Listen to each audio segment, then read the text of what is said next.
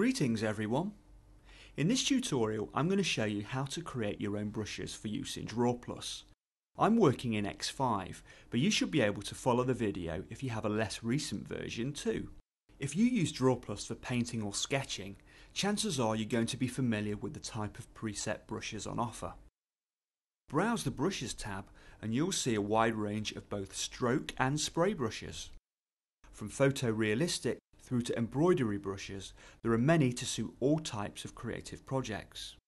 Choosing the drawing category for instance, you can see chalks, markers, pens and pencils. All the brushes included with DrawPlus are pressure sensitive, so if you own a graphics tablet, you can take advantage of this feature to produce variable strokes.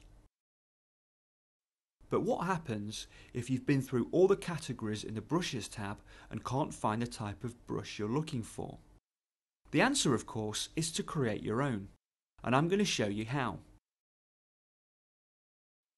To introduce you to the process of creating a brush, I'm going to start by creating a fairly simple stroke brush from a quick shape rectangle. The rectangle is going to form the basis of my brush.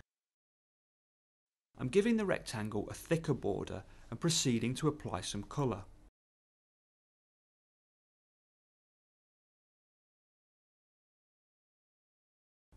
I'll finish off by giving the shape a decorative pencil edge. Let's make the edge a little bit thicker so the effect is clearer. The next step is to add my brush to the Brushes tab where it will become freely available for selection. To do this, I first need to export the brush as an image file.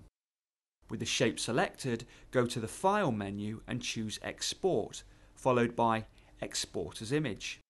You can choose to export your brush as any common image file type, but I'm choosing the default PNG.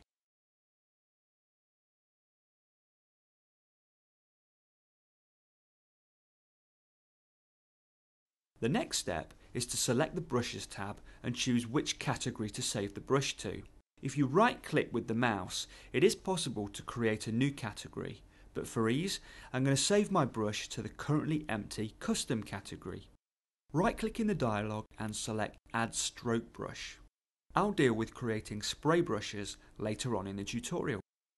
Adding a stroke calls the Stroke Brush Edit dialog. I'm giving the brush a name and browsing my computer to find the exported file. You can see from the preview that there's a bit of transparent space around the left and right sides of the rectangle. So before I create the brush, I'm reducing the amount of unwanted area around it by adjusting the sliders. At this point, there is an option to change something called the body repeat method, which governs how a brush is applied to the page as one stretched or tiled image. For now, I'm leaving the repeat method as stretch. I'm going to ignore the brush properties for now, I'll come back to these in a bit, and proceed to click OK. By doing so, you can see that the brush has been added to the Brushes tab and is now selectable. Let me draw a few strokes on the page so you can see how the brush looks.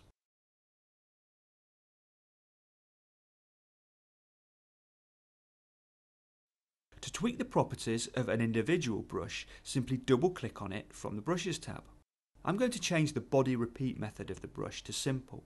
By doing so, I'm telling DrawPlus to tile the brush image so that now, when I click OK and start using the brush, the rectangle is repeated across each stroke.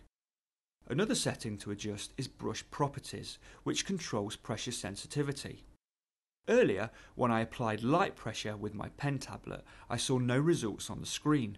However, by adjusting the minimum sensitivity to 20%, I'm guaranteeing that a very light shade of the brush will be visible, even when I apply minimal pressure. See this very light stroke at the top here? This wouldn't be visible if I hadn't increased the minimum sensitivity. Tweak the pressure settings to suit the project you're working on. You'll find the ability to adjust the brush properties very useful, particularly when shading. So that's the basics about how to create a simple stroke brush in DrawPlus covered. Now that I've dealt with the basics, I'm going to share with you a few advanced tips. My first piece of advice is to experiment with lots of different shapes and combinations. I particularly like using swirls, which are commonly used elements in design.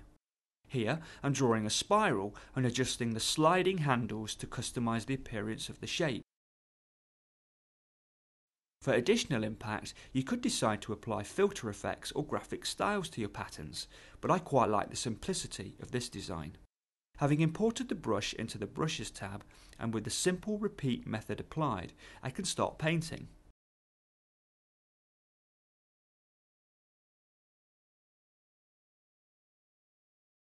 This effect would look great for a border. For this next tip, I'm using a drawing of a snake to demonstrate how it's possible to create a brush that repeats just the central part of its design. I'm quickly going to open the brush stroke edit dialog and use an image of the snake as a stroke brush.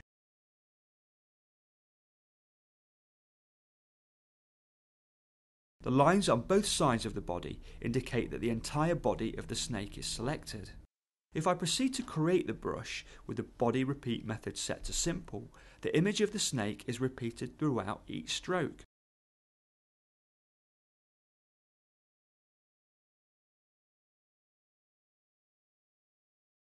Now look what happens when I go back into the brush's properties and adjust the position of the lines so that the snake is divided into three distinct areas, head, body and tail. See that only the body of the snake is repeated, meaning the creation of one large snake. Up to this point, I've dealt specifically with stroke brushes, but for my final tip, I'm going to show you how to create a spray brush. Spray brushes are great for applying decoration to a page, and in this example, I'm going to embellish this award logo by converting the red star at the top of the page into a brush. The process is similar to that of creating a stroke brush. However, when you right click to add an exported image to the Brushes tab, select Add Spray instead. The dialog presented is slightly different to that we've seen before. Begin by giving your brush a name and by importing the image that you'd like to turn into a brush. A preview is visible down the side. As it stands, the stars are quite tightly spaced together, so I'm going to customize the spacing. I can also play with other position as well as size controls.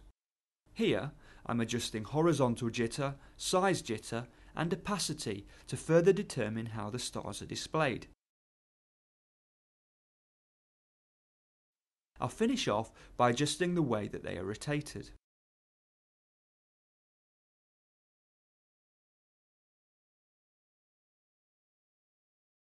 And now, when I use the brush, you can see that the stars are applied as a spray to the page, with the properties selected giving the effect of randomness. So that's it for this video tutorial on creating brushes in DrawPlus. Next time you're drawing and can't quite find a brush for the effect you're looking for, try experimenting and create your own. I hope you found this tutorial useful. Until next time, many thanks for watching.